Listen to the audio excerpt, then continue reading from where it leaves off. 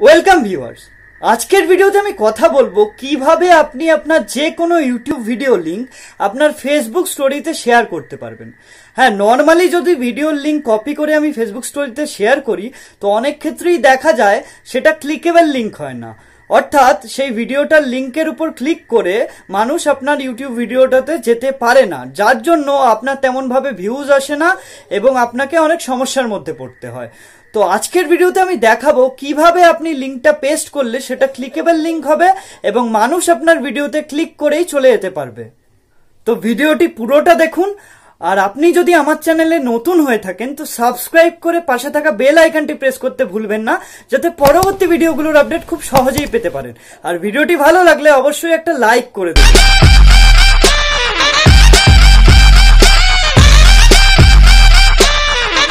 এটা করার জন্য আপনাকে প্রথমে চলে যেতে হবে আপনার ইউটিউব চ্যানেলে। তো ইউটিউব খুলে আপনি আপনার এই উপরের লোগোর ওপর ক্লিক করলেই আপনার চ্যানেলে চলে যাবেন এবং ইয়োর চ্যানেলে গিয়ে আপনি আপনার আপলোডেড ভিডিওস দেখতে পাবেন।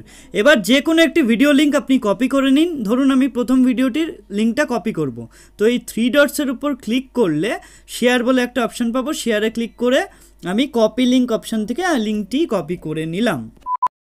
এবার ভিডিও লিঙ্কটা কপি করার পর আমাকে চলে যেতে হবে গুগল ক্রমে এবং এখান থেকে আপনার অ্যাকাউন্টটা আপনি ডাব্লু ডট ফেসবুক ডট কমে গিয়ে লগ করে নেবেন। আমার অ্যাকাউন্টটা লগ করাই আছে শর্টকাট করা আছে।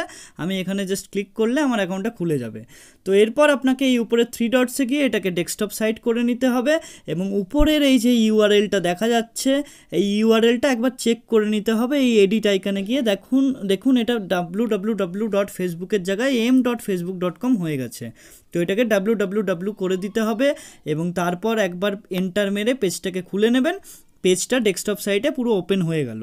এবার ওপেন হওয়ার পর এই রাইট সামথিং হেয়ার যেখান থেকে আমরা পোস্ট করি, সেখানে আপনি আপনার ভিডিও লিঙ্কটা পেস্ট করে দিন এবং কয়েক সেকেন্ডের মধ্যে এইখানে আপনার ভিডিওর থামনেল সমেত সেই ভিডিওটা চলে এলো উইথ লিঙ্ক আর এখানে আপনি আপনার মতো করে যে কোনো ক্যাপশন দিয়ে দিতে পারেন।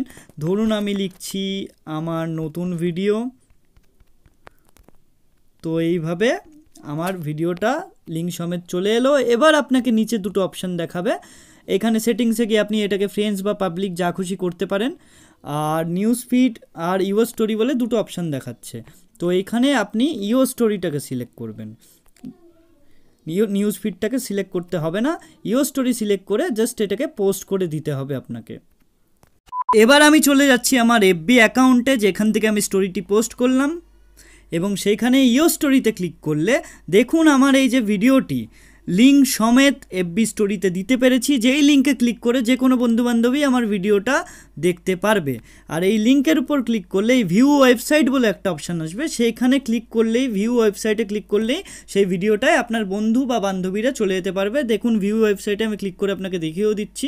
দেখুন ভিউ ওয়েবসাইটে ক্লিক করে আমি আমার সেই ভিডিওটায় চলে যেতে পেরেছি। তো এভাবেই খুব সহজেই আপনিও আপনার যে কোনো ভিডিওর ইউটিউব লিঙ্ক আপনার এফবি স্টোরিতে পোস্ট করতে পারেন। আজকের ভিডিও এই পর্যন্তই। আপনার কোনো কোয়েশ্চেন বা ডাউট থাকলে অবশ্যই কমেন্ট বক্সে আমাকে জানাতে পারেন।